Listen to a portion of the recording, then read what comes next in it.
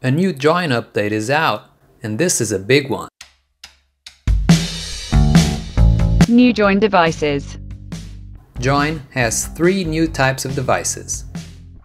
IFTTT, Node-RED, and MQTT. IFTTT. You can now trigger the hundreds of services IFTTT provides from anywhere. Want to set a scene on your Philips Hue lights from your PC? Create a Facebook post automatically?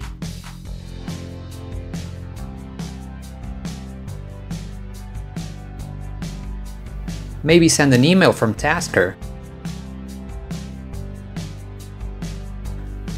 Join and IFTTT have got you covered. Node-RED. Node-RED opens up a whole new world of automation. It's a super powerful automation platform for your Windows, Mac, or Linux PC. Think of it as Tasker for your computer. Since Join can now trigger it, anything you could do in Node-RED, you can now do from anywhere. For example, Node-RED can test your network speed and send it back to you as a notification. Or you could create a dashboard where you can control your device remotely, toggling always on display, the navigation bar,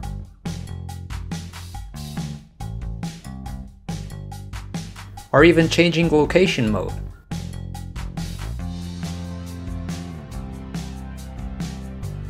If you get a Raspberry Pi, you can have Node-RED running 24-7 as an automation hub and connect to and from it from anywhere with Join. The code for the Node-RED component is open source, so if you're up to it, you can use it as a template to create your own Join clients in any language or environment you want. Join actions. You may have noticed these earlier in the video.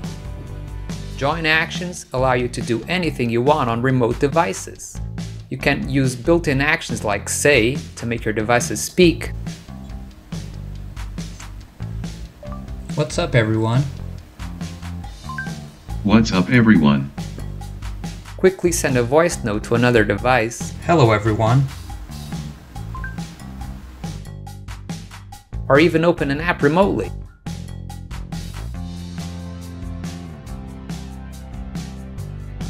But with custom actions, you truly unleash the power of Join. With the help of IFTTT, you can send a tweet, tweeting from Join.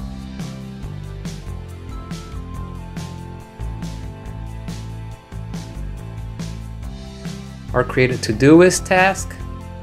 Do something very important today.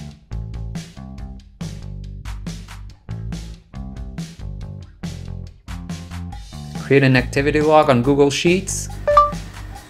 This is from Reddit.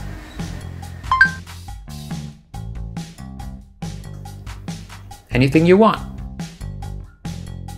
If you target Tasker, you can do anything it or its plugins supports. So maybe take a photo on a remote device and open it on yours,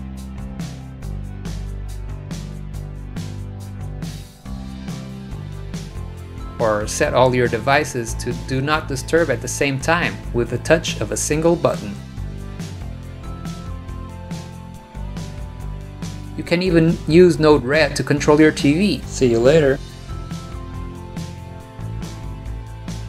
Or check out this sweet action for when you go to sleep that turns off your main light, turns on a secondary light for 30 seconds, and then fades it to black to give you time to lay down with enough light to see where you're going. You can use join actions from your home screen, quick tile settings, app shortcuts, share targets, notifications, tasker actions, and even Chrome on your PC.